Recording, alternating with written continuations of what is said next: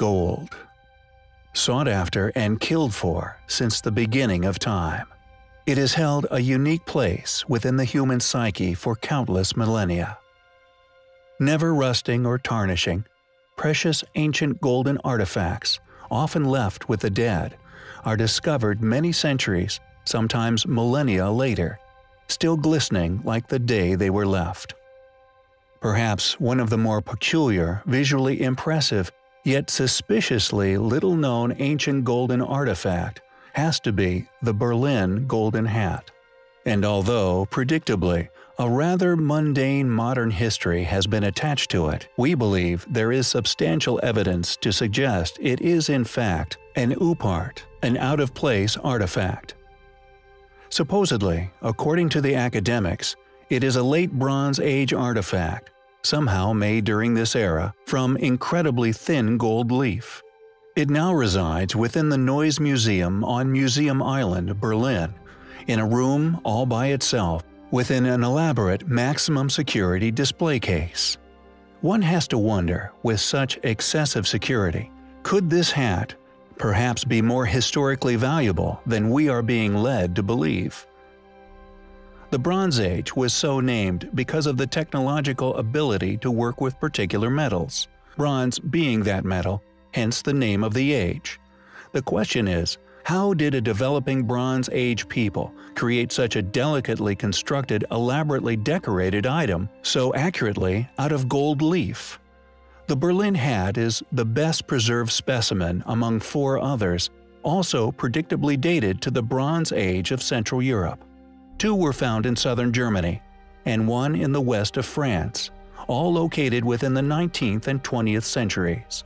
It is academically assumed that the hat served as the insignia of deities or priests within the context of a sun cult, a studied area of historical cultural society widespread throughout Central Europe at the time.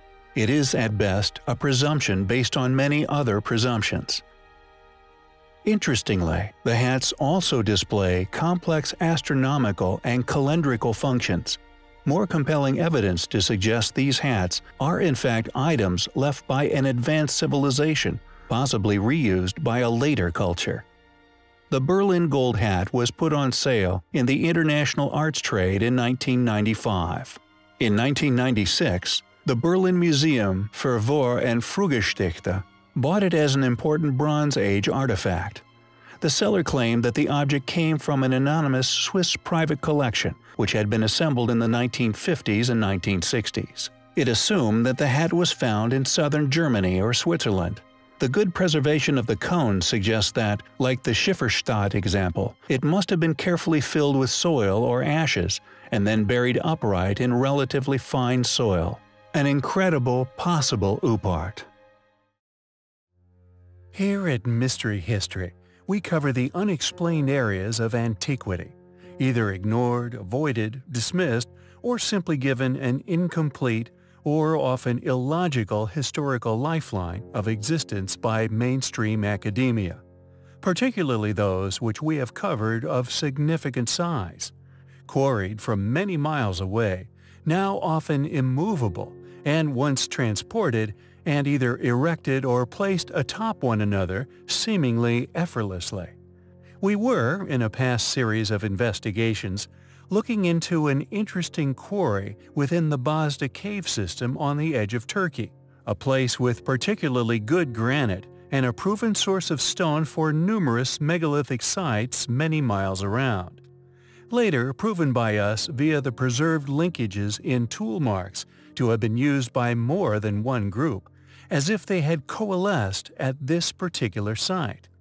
Yet, as mentioned, we have long argued that not just one advanced civilization, capable of moving and cutting these incredibly monumental megalithic stones, or indeed precisely cut them, have been and gone, and we feel we have and continue to provide sufficient proof of these claims. The Colossi of Memnon, said to have once sang at sunrise, are both made of stones thousands of tons in weight, yet are eroding to dust along with countless others, yet clearly once precisely cut, just like all the other stone ruins we cover worldwide. Yet, sites like Petra and the polygonal casing stones found in some most curious of places, such as the pyramids of Egypt, preserving stones in a similar condition to the colossi. Certain stone monuments of gigantic size, found and stored in near-perfect condition, are found in these same areas, as if somehow spared catastrophe. Does this prove a sudden great flood? They regardless, we claim, prove several cycles of activity at stone-cutting creation. Were some monuments submerged and therefore preserved under the sediments, like those secretly removed from the pyramids and Sphinx during initial investigations? Did the ruins claimed as similarly dated not? Or were they attacked by a geological event? The perfect preservation of some of these statues must eliminate sandwear as a possibility. The pursuit to the answers to these questions become closer, and we feel highly compelling. We have in the past covered the fascinating fossilized footprints of apparent ancient giants that may have once roamed our Earth. These prints, undoubtedly of a tremendous age, a timeline and existence which flies in the face of current teachings. Along with these giant prints, we have also touched upon the baffling, seemingly melted handprints found upon stones within Wyoming, yet one area of fossilized prints which have seemingly slipped through our radar until they were recently brought to our attention is the vast array of extremely ancient human-sized prints found throughout the world. In this segment, we will specifically focus upon those found within St. Louis, firstly due to their remarkable nature, but also due to a curious letter received by a fellow of similar interests, recorded by William R. Corliss in his source book, Volume Strange Artifacts, sent in 1837 by an English geologist. It read as follows, quote, I should again neglect to call your attention to a subject to which I have long since intended to claim your particular regard, I will in this brief space allude to it. In the fifth volume of your journal, 1822, there are remarks on the prints of human feet observed in the secondary limestone of the Valley of the Mississippi by Mr. Schoolcraft and Mr. Benton with a plate representing the impressions of two feet.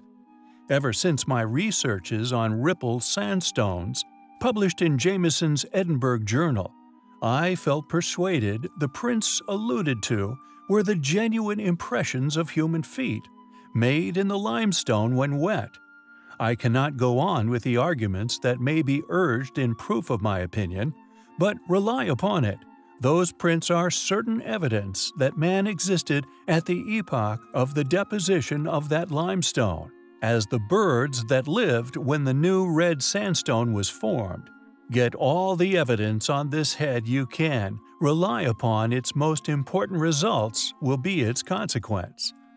He continued, his fellow friend Sir Woodbine Parish, who was seemingly an English knight of the realm, was familiar with other prints, quotes, tells me of similar impressions which have been seen in South America, and there was a dispute among the top Catholic sects as to whether they were the prints of the apostles themselves.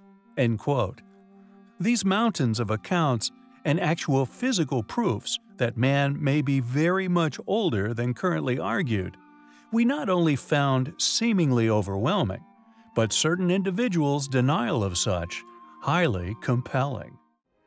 The severe undulating erosion upon the walls of the Sphinx enclosure undoubtedly show that the Sphinx had been heavily weathered long before the Sahara became a desert. Therefore, one must suspect that it could indeed be over 9,000 years old. Not knowing exactly how much rainfall there's been in the distant past, the Sphinx could indeed be far older than this. The most notable scholarly advocates Robert Schoch argues that the Sphinx may be far older than 12,000 years. Robert Bauval and Graham Hancock proposed that the Sphinx may have been built around 10,500 BC during the last age of Leo. Anthony West believes everything on the Giza Plateau testifies to an advanced, secure, and long settled civilization. Therefore, he suggests that the Sphinx may have been built not during the age of Leo, but a whole precessional cycle earlier, in around 36,000 BC, a date he feels is more in keeping with the history of Egypt as chronicled by certain Egypt kings. Regardless of an exact date, all of these talented Egyptologists propose a date set much further back within history than currently accepted, and they have provided considerable evidence to back up such conclusions. At the time of disclosure, the argument sent shockwaves through the Egyptologist establishment, not because of the datings. Egyptologists and mainstream historians have grown quite inept at ignoring data, but more because it was realized that there is indeed no other explanation for their arguments.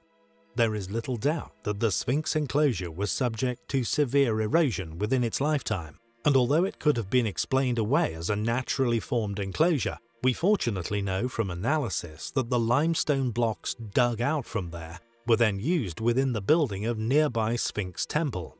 Interestingly, no other site in Egypt shows the same type or degree of erosion. Was the evidence hidden away? Concealed from the public in what could only be called a conspiracy? Sediment surrounding the base of the monuments and a once existing watermark upon the stones halfway up the Great Pyramid's sides indicate just that.